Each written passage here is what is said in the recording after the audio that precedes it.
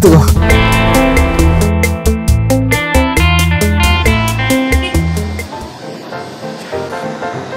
와.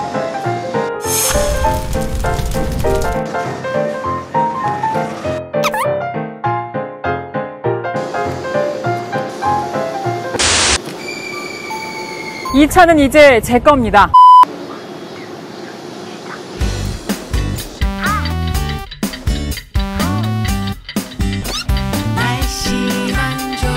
한 30분, 40분 정도 흘렀는데요. 보면 이제 콘치즈랑 베이컨은 다 익은 것 같아요. 베이컨이랑 콘치즈 녹은 거 보이시나요? 오, 보여요? 오. 베이컨은 뒤집어서 한번 조금 더 익혀야 될 것 같아요.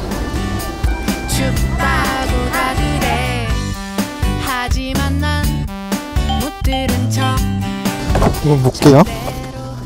아, 뜨거. 계란은 거의 날계란 상태 그대로죠. 그리고 베이컨은 그래도.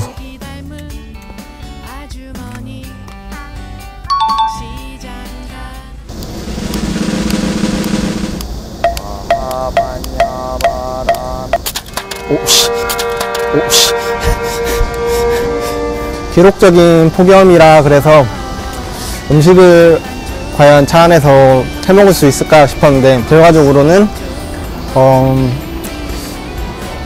실패라고 봐야겠죠?